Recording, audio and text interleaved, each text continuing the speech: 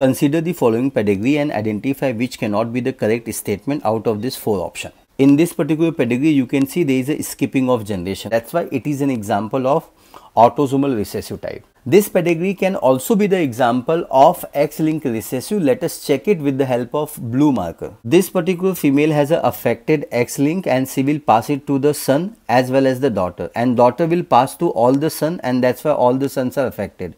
This particular female is also heterozygous and that's why all the males are affected.